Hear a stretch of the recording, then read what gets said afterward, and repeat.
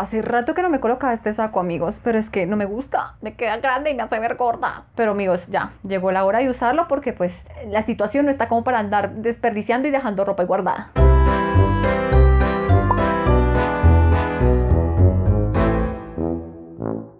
Hola, hola chicos, bienvenidos a uno más de mis vídeos. Esta es Kyoko S. Words y el día de hoy les traigo un video relajado calmadito, hasta amoroso, ala. Sí, porque es que veníamos de una racha de videos de, ay, dale y dale y investiga y dele y, pues yo también me canso, amigos. Y también venía de unos videos también medio polémicos. Entonces dije, es el momento de dar amor.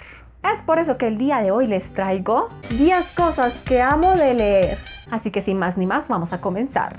De hecho, esta es como la segunda parte, podríamos decirlo así, de un video que yo ya había hecho antes, que era las 10 cosas que odio de leer. Si no lo han visto, se los voy a dejar aquí para que vayan y lo chismen. Y entonces también uno se pone a pensar, hombre, pues si ya hice un video ahí echando hate, echando el odio y diciendo las cosas que no me gustan de leer, pues también es necesario que hagas un video echando el love, diciendo por qué si te gusta leer, qué cosas amas de hacerlo. Así que aquí vamos a encontrar eso y es cosas bien particulares que se me dan cuando estoy leyendo y que amo que me sucedan. Como por ejemplo, amo el olor de los libros, amigos. El olor de los libros es súper adictivo, súper particular, que de verdad, de toda la experiencia, creo que oler los libros es una de las cosas más satisfactorias del mundo, por lo menos para mí. A mí nunca se me va a olvidar una vez una cosa que me dijo una profesora que me daba clase cuando yo estudiaba actuación, que decía que muchas personas creen que pues la lectura es algo meramente visual, cuando uno debería hacer de la lectura algo súper experimental para todos los sentidos. El hecho de coger el libro, tocarlo, sentirlo, olerlo, verlo. Es que no les digo que lo saboreen también porque no creo que sepa muy bueno y no creo que tampoco sea bueno para la salud, pero el hecho es que uno sí debería hacer toda la experiencia de leer la portada, leer los créditos, tocarlo, ojearlo, etcétera, etcétera, para hacer la experiencia mucho más llamativa, incluso mucho más memorable. Y a mí esas palabras nunca se me olvidaron y si algún día me ven empezar un libro, ustedes se van a dar cuenta que yo hago todo esto, desde quitarle el plástico, desde abrirlo un porquito, sentirlo, leer todos los créditos y olerlo. Para mí todo eso es como un ritual y mi parte favorita de ese ritual es cuando cojo y lo huelo. Es como,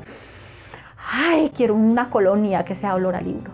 Otra de las cosas que amo de leer es que a mí la lectura me permite abstraerme del mundo real, es decir, es como mi escapatoria. Adiós, me les fui hasta la chucha. Porque no vamos a negar, amigos, que el mundo real es duro y que a veces necesitamos ese tipo de voladas mentales porque si no, pues nos vamos un poco al carajo especialmente yo, amigos, que tengo tantas cosas en la cabeza y, pues que a veces que no tengo ni un momento de respiro y ni momento de descanso, es cuando yo agarro un libro y me enfoco completamente en la historia. Especialmente también porque soy una persona que le cuesta mucho concentrarse. Entonces cuando lo logro en una historia, en un libro, es algo que agradezco mucho y además es algo que disfruto, disfruto un montón. Otra de las cosas que amo de leer es poder disfrutar de todas esas portadas preciosas y perronas que hay en el mercado, bendito sea el cielo de los diseñadores y artistas artistas gráficos, porque hay unas portadas que son una cosa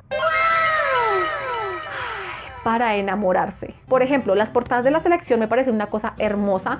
El contenido, pues, eh, pero, pero no podemos negar que las portadas de la selección son una cosa preciosa. Un ejemplo más reciente, Circe, amigos. Circe es una portada de esas que directamente no puedes quitar los ojos de ahí. A mí una de las portadas más hermosas y creo que están mejor hechas por todo lo que acarrea es la portada de Leonora Park. No necesita más y uno no puede quitar los ojos de lo que representa. Otra portada que a ustedes no les gusta y a mí me encanta es que es una portada que transmite tanto es la portada de tan poca vida. Todas esas portadas que yo siento que me dejan algo, que no puedo quitar los ojos de ellas, que son perronas, preciosas o llamativas, es una de las cosas que yo más disfruto de leer. Otra cosa que disfruto mucho de leer es coleccionar los libros. Esta es mi parte más materialista aquí confesándose con ustedes, pero yo no les puedo mentir que una de las vistas más hermosas que yo he visto en mi vida, valga la redundancia, son mis libros arregladitos, arregladitos, junticos, preciosos, que yo sé que son parte de mi y de mi colección. Es una esas vistas que a mí me enamora. Me enamora ver todos mis libros ahí junticos, como los tengo acomodaditos y de verdad está desordenado, pero no me importa el hecho de verlos todos junticos. Es amor, es amor, es amor. Me encanta. Otra cosa que a mí me gusta mucho de leer es que no hay nada en el mundo que me aumente la curiosidad que no sean los libros. Muchos de los videos que yo les he hecho a ustedes han nacido por un libro, por no decir que casi todos. Que estaba leyendo un libro y tocaron un tema que me llamó la atención y yo ya estoy directamente averiguando todo, leyendo a todos los autores, mejor dicho, es algo algo que despierta toda mi curiosidad. Un gran ejemplo, el Bicentenario. Todo el especial del Bicentenario nació por un libro, que si no han visto el especial del Bicentenario se los voy a dejar aquí. Todo el especial de Octubre Escalofriante del año pasado nació por un personaje psicópata del cual yo estaba leyendo y también les voy a dejar el especial aquí si no lo han visto. O sea, hay muchas cosas que han nacido a raíz de esto y que me han enamorado. Casi que mi amor por los idiomas, mi carrera, nació por una curiosidad adquirida en un libro. No hay un elemento que a mí me dispare la creatividad y la curiosidad por conocer más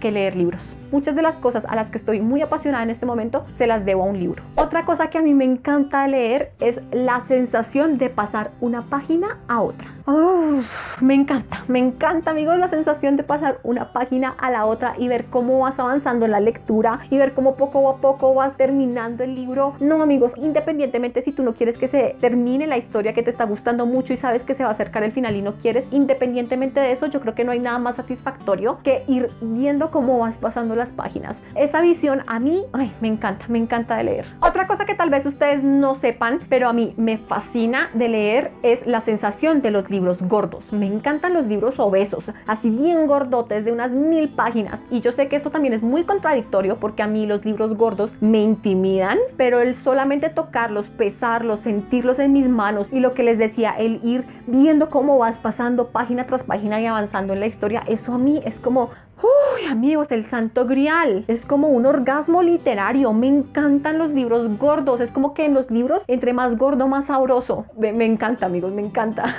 Esta es una sensación que odio y amo. A ver, no sé cómo explicarlo, pero miren, los humanos somos muy incoherentes. Bienvenidos a mi incoherencia y de hecho me encanta que seamos incoherentes. Es ese instante en el que te das cuenta que todo lo que venías pensando que iba a pasar, pasa. Que en un momento del libro tú dices, hmm, creo que ya sé cuál es el malo y que más adelante te das cuenta que efectivamente sí era ese el malo. A mí eso es como que, como que me siento poderosa, me siento inteligente, digo como sí lo sabía. Pero la contradicción viene cuando también al mismo tiempo digo, ay, me hubiera encantado que me sorprendieran. Me encanta la sensación de como que el libro me está dando la razón, pero al mismo tiempo me hubiese encantado que, a ver, que me sorprenda, no haberle atinado. Es bastante extraño, de hecho yo diría que esa contradicción es lo que amo de todo esto. Otra cosa que amo de leer es que me haga perder la noción del tiempo. Como les dije, yo soy una persona a la que le cuesta muchísimo concentrarse, amigos, de verdad soy una persona muy desenfocada, muy distraída, que cualquier momento estoy pensando en una cosa y resultó pensando en si el presidente habrá almorzado hoy o no. Cosas muy locas ¿Por qué? Porque tengo una mente que todo el tiempo está funcionando y nunca descansa. Excepto cuando cojo un libro que me permite enfocarme totalmente en una cosa, en una historia que probablemente me apasione. Y entre más me apasiona, pues más pierdo la noción del tiempo. Y en menos de lo que me doy cuenta, han pasado tres horas, cuatro horas y yo digo como me teletransporta en el tiempo. Esa sensación me encanta, darme cuenta que en menos de dos segundos se me fue todo el día en un libro. Otra de las cosas que me encanta de leer es tener la posibilidad de recomendar, de fangirlear o de rajar de libros. Yo creo que no hay nada más delicioso que tener una conversación con otra persona, ya sea para que yo le recomiende o esta persona me recomiende un libro o para fangirlear, para emocionarnos y contarnos y dar nuestras impresiones sobre un libro o simplemente para destajarlo, amigos. Me encanta poder hablar con otras personas sobre libros. Yo creo que una de las cosas que yo más amo de leer es poder compartir con otras personas de esto y por eso nació YouTube y el blog, etcétera, etcétera. Así que cuando tengo el poder para hacerlo, no hay duda. Y es que incluso las personas que me conocen y tenemos este tema en común, yo creo que podrán decir que a mí como que se me iluminan los ojos, como que no puedo parar de, dejar de hablar del libro. Y aunque eran 10 cosas que amo de leer, voy a dar una extra, amigos, porque no me puedo quedar con esto aquí, necesito comunicarlo. Y es que una de las cosas que yo amo, amo y le agradezco muchísimo a los libros y a leer es haber creado una comunidad alrededor de ello. Esto siempre me lo preguntan en los eventos, en las entrevistas, en todo lado me preguntan por qué inicié a hacer videos o a crear contenido en internet sobre los libros. Y mi respuesta siempre ha sido la misma, y es que desde chiquitica que yo empecé a leer, nunca tenía con quien compartir los libros que yo leía. Y si las personas que estaban a mi alrededor leían, no leían los mismos libros que yo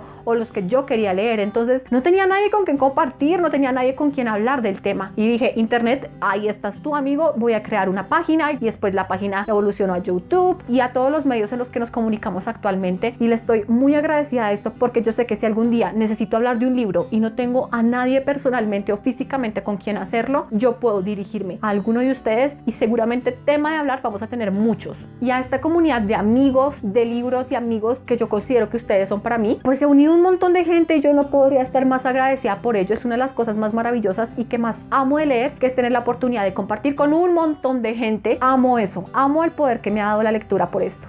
Y eso ha sido todo amigos por el video del día de hoy. Muchísimas gracias por ver hasta el final. Ay, es que me apasiona. ¿No vieron que en este video estaba como, mmm, sí, amo leer? Así que necesito que me dejen en los comentarios ustedes también que aman de leer, que les apasiona, qué es lo que les gusta de hacer esta actividad. Yo estaría ya súper pendiente leyendo todos sus comentarios porque ustedes saben que a mí me encanta todo su chisme. Recuerda dejar la manita arriba, compartir, suscribirte y comentar. Y cuando te suscribas, por favor, no olvides prender la campanita de notificaciones que está al lado del botón de suscripción para que cuando yo suba un video de YouTube te mande una notificación y tú estés ahí en primera plana para verlo. En la cajita de la descripción de este video van a encontrar todas mis redes sociales, además de mi blog donde están publicadas todas mis reseñas Recuerden pasarse a Instagram porque en Instagram tenemos varias secciones como los en vivos, el chisme narcisista, las sesiones de té, el perrito adorable. Mejor dicho, tenemos un montón de secciones, además de todo el chisme que les llevo a diario, así que por allá los espero. Y también pásense a Facebook porque en Facebook está nuestro grupo de club de lectura. Yo leo lo que se me da la gana. Y también está la fanpage donde les comparto todas las freaky news, todas las noticias del mundo geek al día, así que por allá los espero. Yo por ahora me voy despidiendo dejándoles un beso así